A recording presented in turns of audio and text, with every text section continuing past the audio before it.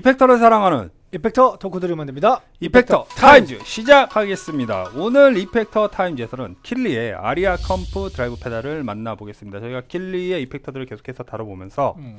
처음에는 단독적으로 출시된 중간에는 이제 시그니처 모델들을 보여드렸고 뭐 다크 사이드라든지 아니면 DDR이라든지 이렇게 혼합된 effector들을 보여드렸었는데 오늘 만나볼 페달은 컴프레서와 드라이브가 네. 결합된 독특한 음, effector입니다.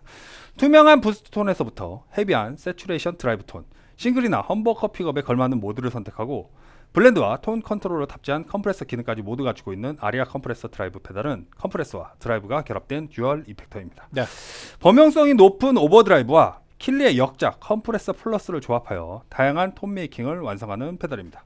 체인 순서를 변경할 수 있는 스위치와 TRS insert를 채용하여 comp와 드라이브 사이에 다른 음. effector들을 연결하여 사용할 수도 있다라고 하네요. 이 부분은 지난 시간에 저희가 다뤄봤던 DDR과 동일한 기능입니다. 외관부터 살펴보고요. 사운드를 한번 들어보도록 하겠습니다. 체인 변경 스위치, effector의 순서를 선택합니다. 오른쪽은 comp에서 드라이브로, 왼쪽은 드라이브에서 comp로 음. 조절을 할 수 있습니다. 레벨 overdrive와 컴프레서 채널 볼륨을 조절합니다. 드라이브 드라이브 gain량을 조절하고요. 톤 드라이브의 톤을 조절합니다.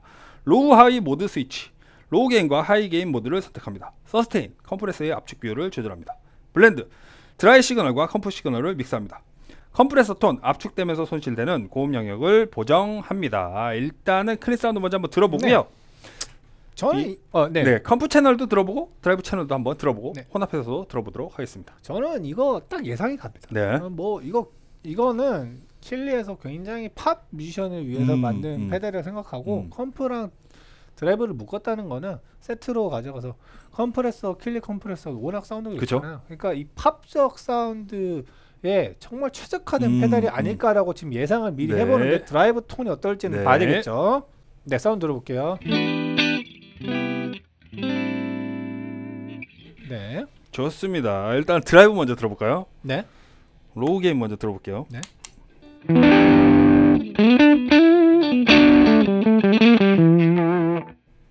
약간 뭐지?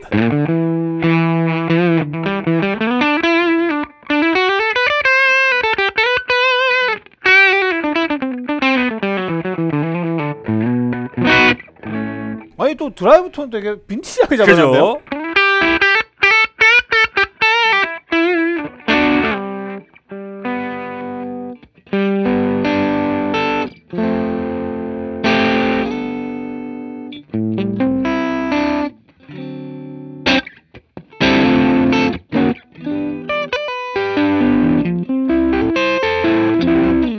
특이하네요. 자, 요 상태에서 저희가 이제 게인을 하이 게인으로 한번 바꿔 볼게요. 네.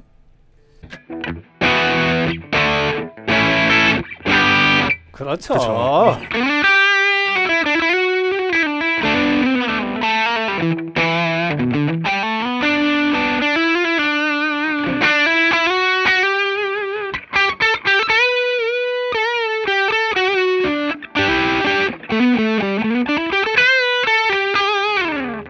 저도 이 은총 씨의 말에 굉장히 공감을 하는 게, 음, 저는 그렇게 생각을 했어요. 처음에 이제 은총 씨가 굉장히 팝적인 톤이 나올 것이다라고 예상을 하셔서 low gain 모드에서 사운드를 들었을 때, 어, 이건 약간 예상이 빗나갔다. 음. 근데 이제 high gain으로 전환을 할 때 저는 그런 생각이 들었습니다. 이 high gain이란 게 우리가 알고 있는 그런 중중거리는 high gain은 아닐 것이다. 음. 딱 꺾는 순간에 바로 그 팝적인 사운드가 그죠? 드라이브 사운드가 나오고요. 그래서 이 high gain 모드와 comp를 묶어서 사용을 하되 이 따로 빈티지한 사운드를 원할 때는 low gain 모드를 사용을 해라 라고 음. 해서 설계가 된 페달이 음. 아닐까라는 생각을 가져봅니다. 일단 comp 채널을 먼저 한번 따로 들어볼게요. 네. 볼륨을 좀 높일게요. 네. 오케이. 지금 네. 걸린 게 좀 세니까 네. 좀 줄일게요.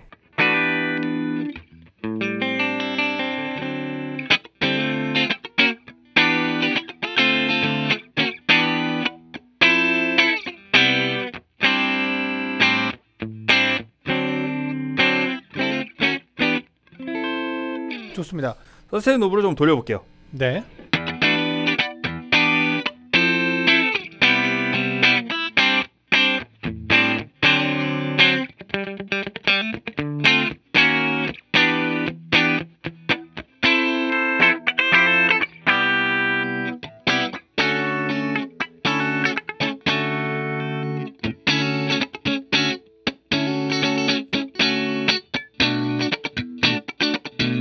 그러니까 그냥 기분 좋은 comp 소리. 맞아요. 과하게 걸어도 예쁜 소리. 그래서 은총 씨가 생각하고 있는 이 아까 팝스러운 사운드를 말씀하셨는데 제가 여기다가 high를 조금만 더 주고요. 드라이브를 깎은 상태에서 사운드 한번 들어볼게요.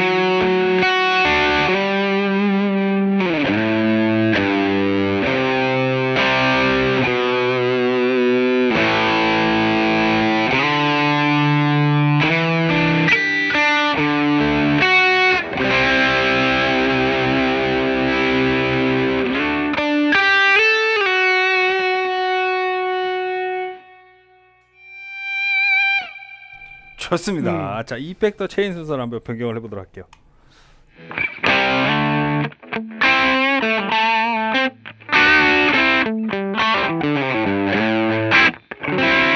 이제 좀 특이하긴 하죠. 그 네. 드라이브 뒷단에다 쓰니까. 근데 이제 요것도 그 맛이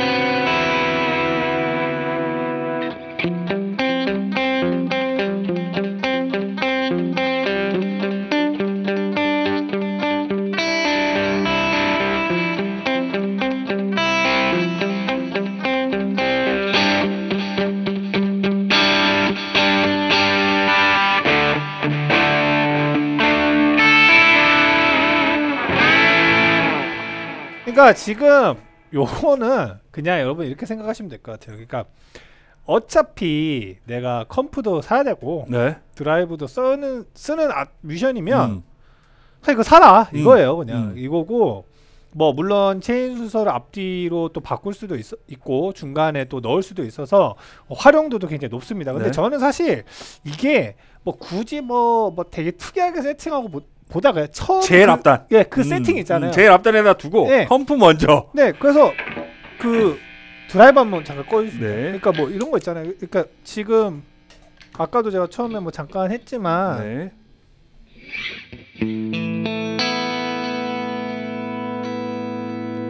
뭐 코러스까지 걸어볼게요. 네.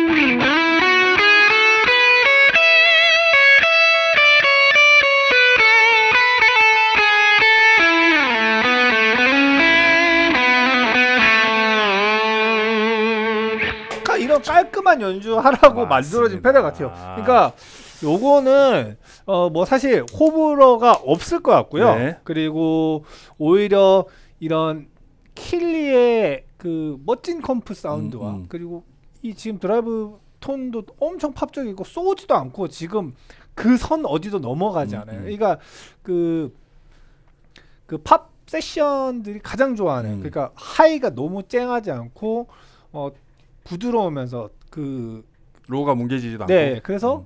그 어떠한 그 말 그대로 그 그 백그라운드 사운드 음, 음, 위주기 음. 때문에 기타가 어떠한 그 지점을 넘어가면 안 되거든요. 음. 그러니까 드라이브 페달도 우리가 이제 저희는 이제 이펙터 타임즈니까 음. 그리고 이제 뭐 기어 타임즈도 마찬가지고 기타가 주인공이기 때문에 음.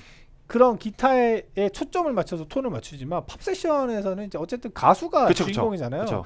그러니까 드라이브 톤도 여러분이 생각하는 것보다 훨씬 더 mellow하게 잡고 어, 드라이브 sustain도 훨씬 더 적게 잡아요. 음. 그리고 distortion 사운드가 필요할 땐 필요하지만 보통 이제 어 뭐 발라드다고 하면은 절대로 음, distortion을 거의 밟자 뭐 경우에 따라 뭐 예를 들어서 뭐 김경호님이 그쵸. 나오셨다 그러면 밟아야죠. 디- distortion 밟는 순간 90년대 락 발라드로 가는 거죠. 음. 네. 그래서 락 발라드도 한번 밟아야 음. 되겠지만 그게 아니라 지금 일반적인 그냥 어 뭐 드라마 OST라든가 네. 이 정도에서는 음. 사실 overdrive 사운드 안에서 음, 끝나거든요. 음, 그랬을 때 이 정리 정돈을 앞뒤로 이렇게 잘해주는 음, 페달이라고 음. 생각이 들어요. 그 이거는 그냥 팝 session을 공부하고 좋아하시는 분들 그리고 나와서 제가 오늘 뭐 시연해서 굳이 보여지, 보여드리진 않았지만 음. 또 존 메이어 톤 좋아하시는 분이면 또 충분하게 음. 잘 쓰실 수 있겠다라는 생각이 듭니다.